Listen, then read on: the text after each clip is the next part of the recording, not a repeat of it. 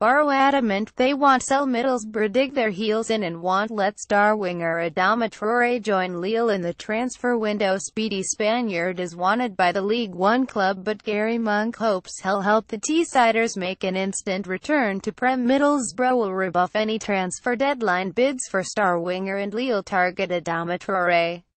The Spanish flyer will be told to see out the three years left on his contract, according to the Gazette. Rex features 5 Adama Traore takes on the Forest defense but is reportedly interested in playing League One football with Lille rather than in the Championship with Boro Rex features 5 Boro Wideman Adama Traore has started the season as well as he ended last term League One. Lille were reportedly ready to up last week's £9 million plus offer to more than £13 million. But Boro boss Garry Monk has been busy strengthening his squad in the last few days. And he might think keeping one-time Chelsea target Traore would be almost as good as splashing out £3 million for Birmingham defender Ryan Shotton today, while also agreeing a deal for Oxford United wideman Marvin Johnson.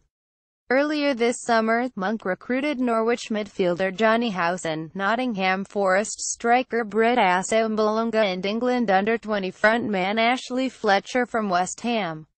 Under-19 international Traore joined Boro for £7 million in 2016 after a year with Aston Villa, having played only one senior game for his first club Barcelona.